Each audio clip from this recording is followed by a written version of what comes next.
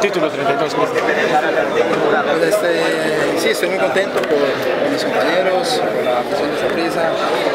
Eh, un título así sabe más, obviamente que, todo lo que sufrieron ellos, yo diría cuando ya todo eso, los princesos y, hubo mucha gente, jugadores en especial, de que personal no dejaron ni ponerme los sacos ni entrenar, pero bueno, es parte de lo que es bonito del fútbol, yo lo, lo tomé como algo gracioso, me un poquito y dije, bueno, cuando seamos campeones, tener que felicitarme, ¿Me quedaron sin sabor un sed por, por no jugar esos dos partidos? No, no, porque yo soy un jugador grupo, siempre lo he dicho durante toda mi carrera, yo nunca he hablado a nivel personal, este, y por esto mismo, eh, una expulsión que sea justa, injusta, eso es un grupo de jugadores que al final entendieron de que demostrando en la cancha con resultados, eh, la poca, la poca gente que va a estar hablando, pues nos iba a felicitar. Es una revancha, Cristian, por lo de Princeso, entonces. Es una revancha.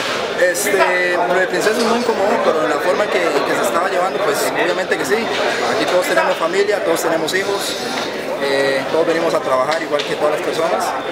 Obviamente que entendimos de que teníamos que venir a entrenar calladitos, guardarla ahí un poquito. No le hemos ganado a Heredia, a la abuela en la fase regular, pero le ganamos los partidos importantes. Regresar a esa prisa con un título. Perdón. Regresar a esa prisa y ser campeón. Estoy muy contento, de mi grano de arena y por dicha que eso colaboró para ser campeones. ¿Está para seguir aportando el servicio? Yo me siento muy bien. Este, el fútbol es así, el fútbol es de demostrar día con día, eh, como dicen muchas personas, eh, el fútbol no tiene memoria, obviamente que si yo mi currículum no tengo que mostrarle nada a nadie, pero obviamente yo entiendo que tengo que prepararme bien, eh, entrenar fuerte para poder rendir a, a los rivales bueno, obviamente que el campeonato de esta manera pues, significa mucho para mí, para grupo.